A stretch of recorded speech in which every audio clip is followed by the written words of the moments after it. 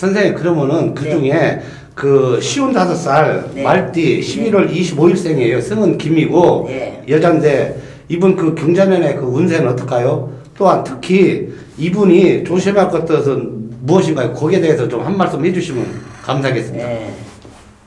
그러니까 이제 11월이니까 자의 축이자 축인데 어 25일이잖아요. 근데 이제 경자년에 인양반이 병호생이란 말이야.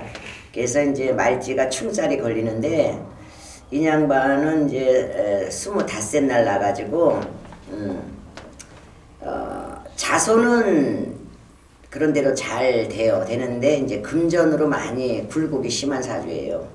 또 건강도 그렇고 음. 몸으로 어, 명이 짧지 않으면 돈을 다 쓸어내야 되고 음. 가족도 지키고 내 건강도 지키려고 하면은 몸으로 쳐야 되고 음, 그렇죠. 음. 어 이분 사주는 경자년에는 그 건강에 많이 신경 써야 된다. 그 그렇죠. 말씀이네요. 예, 예. 건강에 많이 신경 써야 돼요. 음, 너무 무리하지 말고 너무 신경 쓰지 말고. 예. 그 이제 선생님한테 이제 많은 사- 사람들이 와서 점을 많이 봤는데 이제 여기서 선생님이 이제 가장 잘 봤다 아니 가장 잘 기억에 남는 손님이 있으실까요? 에, 기억에 남는 손님은 많은데 에, 돌아보면은 저는 이제 눈물만 나죠. 왜냐면 쉽게 풀면은 업이 많은 사람이 있고 업이 많지 않은 사람이 있고 그래요. 그래서 선업을 많이 쌓으신 분은 어 그야말로 조금만 풀어도 뭐가 금방 풀려요. 근데 업이 많 이제 닦아놓으시 조상님이 닦아놓질 않고 그야말로 그런 집은 굉장히 제자가 힘들어요. 그래서 왜 생각하고 싶지 않느냐면 거진 어, 손발이 얼어가면서 많이 힘들었어요. 음. 이길 가는 게 만만한 게 아니에요. 음. 선생님이 점을 이렇게 손님들이 점을 봐주잖아요. 이 중에서도 내가 아, 이 손님은 진짜 내가 점을 잘 봤다.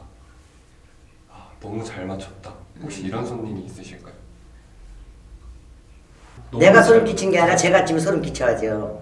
그게 눈으로 본 듯이. 음. 음.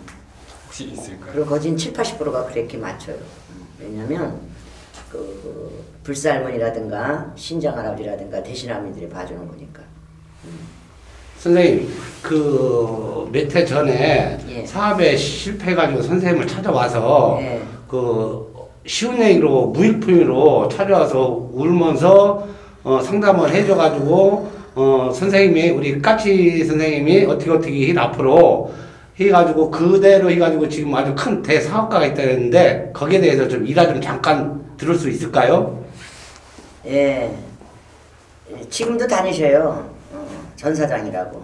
금방 내가 오다가 이제 아까도 통화했는데 그 양반이 젊어서 사우디 쪽으로 많이 가서 돈을 벌고 에, 아들만 들어오는데 마나님이 돌아가셨어요. 와가지고 이제 국내에서 정착을 하려고 하는데 마나님이 돌아가시고 나서부터 이상하게 뭐를 해도 이렇게 잘 안 풀리고 안 풀리고 그런 상황에서 이제 마나님도 돌아가시고 막 그러니까 이 양반이 이제 한 몇 년 있다가 극단적인 생각을 했었는데 지금은 이제 예, 살살 풀려가고 사람이 그러니까는 이제 그 돌아가신 망제가 한이 많잖아 남편이란 분이 맨날 외국에 가서 물론 자식을 위해서 가정을 위해서 먹고 살기 위해서 어쩔 수 없이 어, 각국 나라 돌아다녔지만 이제 마나님이 이제 한이 져가지고 이제 조그맣게 돈도 없고 그러니까 돈 150을 불렀어요. 그랬더니 그거를 이제 예, 열흘 있다가 해와라 했는데 보름 만에 왔는데 100만 원 갖고 어떻게 사랑풀이를 해줘가지고 집에서 제가 혼자 해가지고 그때부터 조금씩 열렸죠. 어, 그래서 지금은 안정된 생활을 해요. 예.